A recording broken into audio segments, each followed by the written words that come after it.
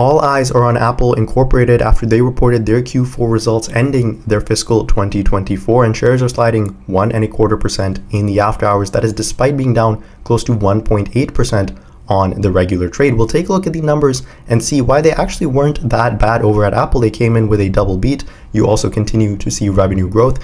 But when we take a look at the all important Greater China region, yeah, that's a country where growth, at least on the top line, has absolutely come to a screeching halt. And year over year, you're actually seeing meaningful declines in that part of the business. And then we'll take a look at the different news as it pertains to Apple. A lot of new products coming out over at Apple in terms of the MacBook. Also, of course, the iPhone 16, as well as those Apple Intelligence AI features. And then when we get over to the technicals, this one, you stretch it out over a long, long period of time. And yeah, you've done phenomenal with shares of Apple right now. You're a bit overextended, and so you're seeing that pullback in the after hours, just a 1.2% decline. We'll see maybe where shares can be a buying opportunity if you continue to see this decline in shares of Apple. Hey guys, hope you're doing well out there. If you haven't hit the subscribe button below, be sure to do that. These videos really, really take a while to put together, and your support would be much appreciated. Year to date, shares of Apple up a cool 20%, actually doing pretty well, performing relatively in line with the market, up over 35% over the past one year. Keep in mind, you continue to get a yield with this one that they just declared as well of 25 cents. That's on a quarterly basis. So you annualize that, you're looking at a dollar that they continue to increase year over year pretty consistently, in my opinion. Now, revenues in this most recent Q4 came in at $94.9 billion.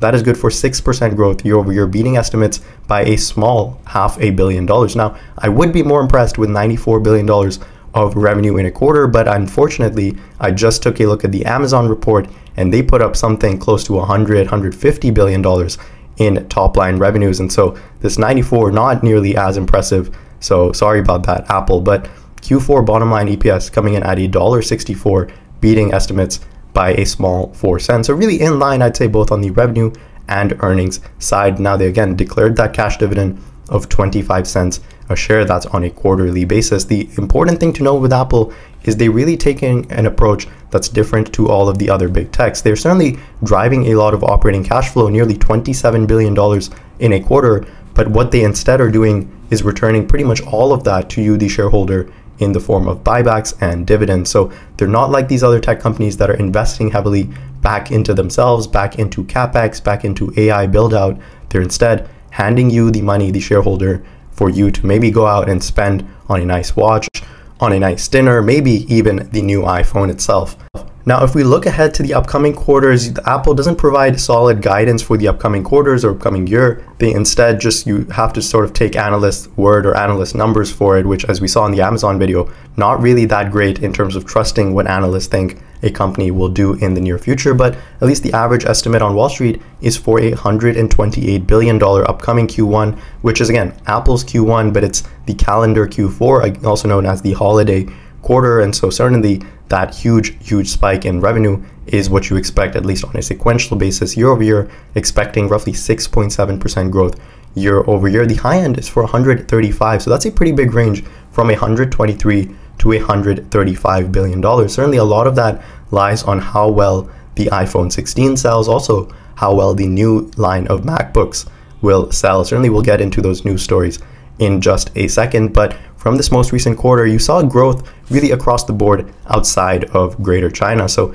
in China, you're seeing a slowdown. Maybe some of that is due to Apple themselves, but I think a lot of that is due to competition from companies like Huawei, where they're producing phones that fold in two, phones that even fold in three, and Apple sticking to their flagship iPhone that's really looked the same over the last five, maybe even 10 years, that maybe just isn't selling well to the Chinese consumer, at least anymore. Because over the last 12 months, you're seeing sales down $6 billion.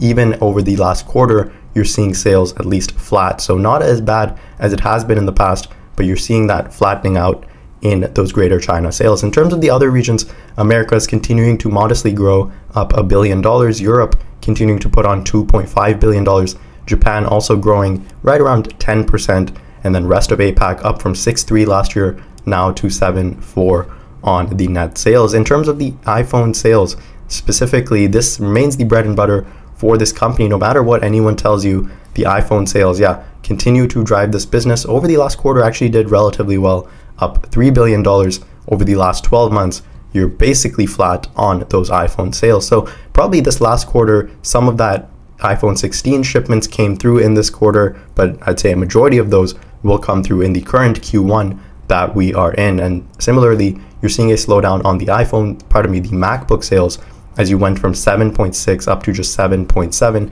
Some of that could be consumers holding out on upgrading their Macs as their new line of MacBook Pros were just announced this past week. So maybe a lot of that Mac movement or Mac upgrade cycle will again come in the upcoming Q1 that we are in. iPads continuing to do relatively okay. I would say nothing out of the ordinary. $7 billion up from 6.4 last year.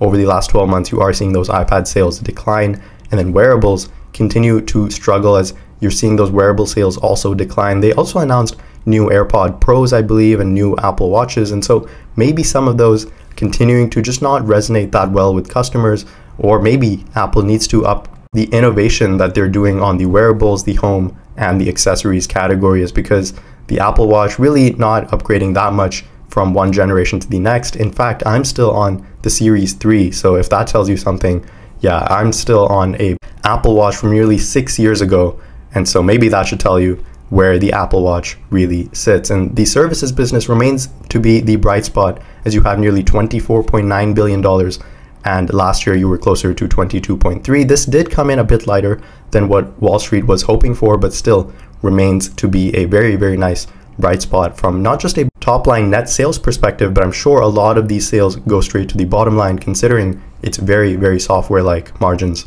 on that services business. Now, in terms of news stories, Apple is reducing its reliance on Broadcom in upcoming 2025 by developing their own in-house Wi-Fi chips and they're expecting to produce nearly all of their in-house Wi-Fi chips within the next 3 years. So this move will reduce costs and enhance Apple's ecosystem integration advantages. So this news reminds me a lot of the news that they released when they were moving away from the Intel chips and certainly if you are investing in these component makers like Intel or Broadcom and to a more degree Cirrus Logic that specifically produce components for the Apple iPhone, yeah, I would keep that in mind because Apple can suddenly move away from these component makers and start to produce everything pretty much in house, like they have been over the past, as they did with those Intel chips. They moved away from those, started producing their own M chips or M1, M2, M4 chips in house that are proving to be extremely, extremely beneficial. Now, this probably is again bullish for TSMC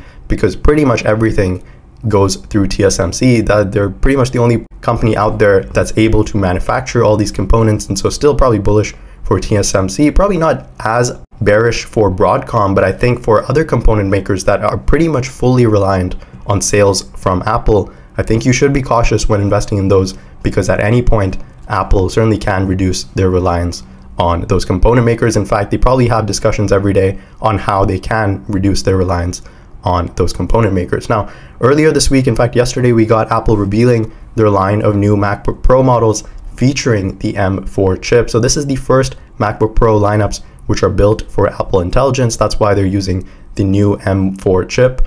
Certainly, my thoughts on the Mac is that these Macs are frankly really, really good. In fact, from personal experience, I'm still on the MacBook Pro with using the M1 chip, and so that one is, I think, nearly four or five years old at this point. I use it to record, I use it to edit, use it for pretty much everything every single day, and it's done me really, really well. So the upgrade times on these MacBook Pros, simply because they're so, so good, is probably a couple years.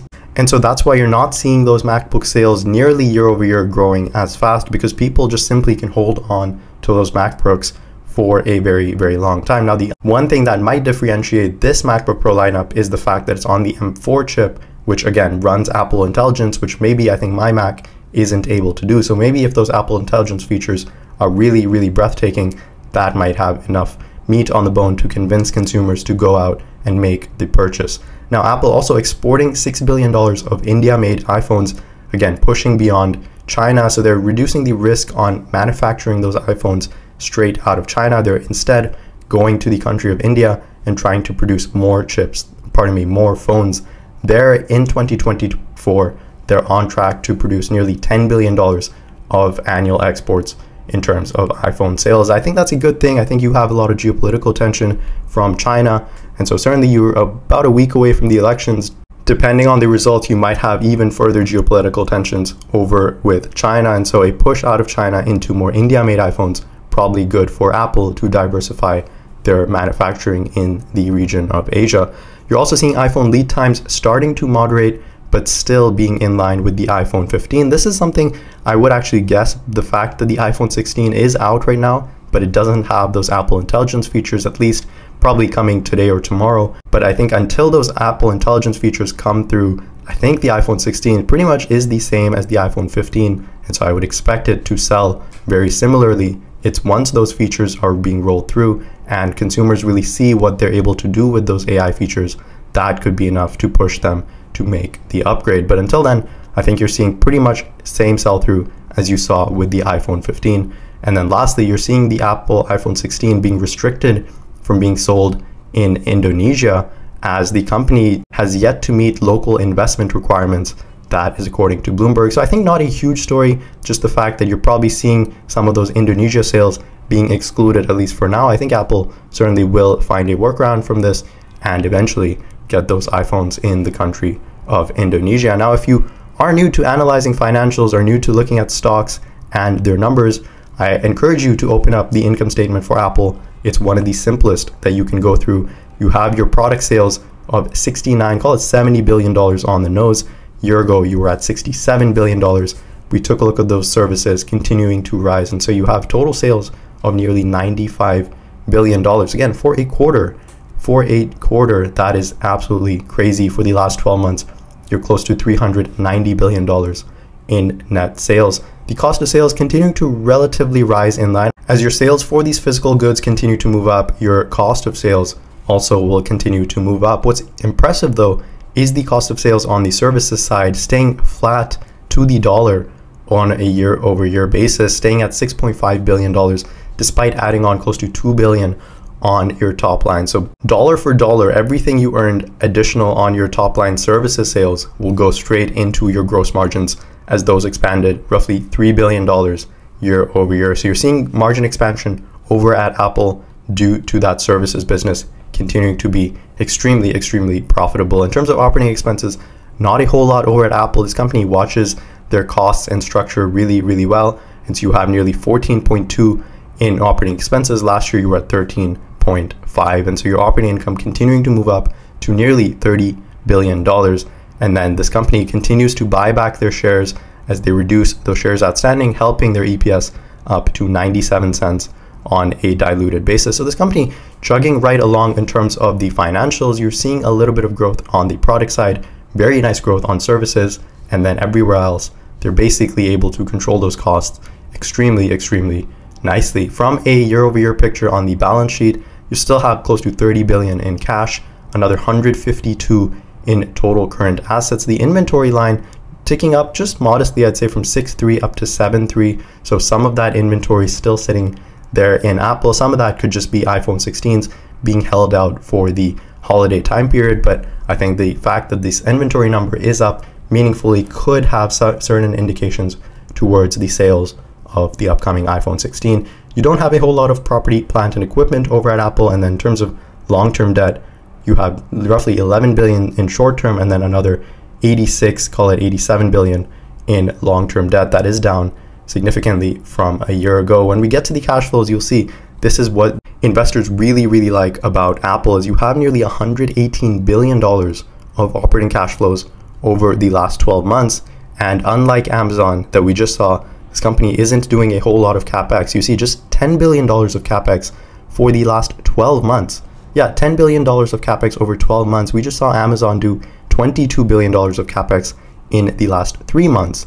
And so, again, tells you the differentiated outlook that Apple is taking in terms of running their business. Instead, they're basically taking that $110 billion of free cash flow and handing it to you in the form of $95 billion of a buyback and $15 billion of a dividend. So again, tells you just the power that this company has in terms of what they can do with that free cash flow. They also pay down some long-term debt to the tune of $10 billion. So this company, again, very, very, very shareholder friendly. And one of the reasons why I think Warren Buffett continues to love his Apple investment is because they return so much capital to him in the form of this $95 billion buyback. That is just absolutely absurd to wrap your head around buying back $95 billion of stock in a single calendar year.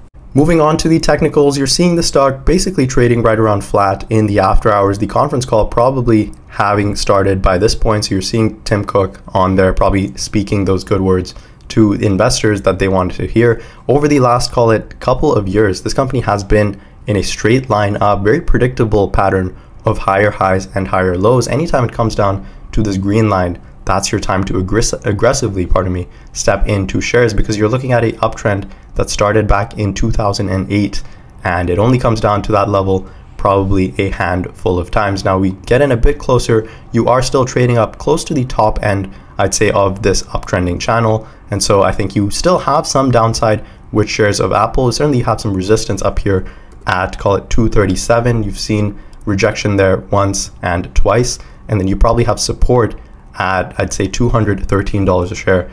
That's probably a meaningful level of support with the shares of Apple. In the near term, you could make an argument that you are making a series of higher highs and higher lows. Not overly convincing because you've sort of just touched this once, maybe touched it twice before.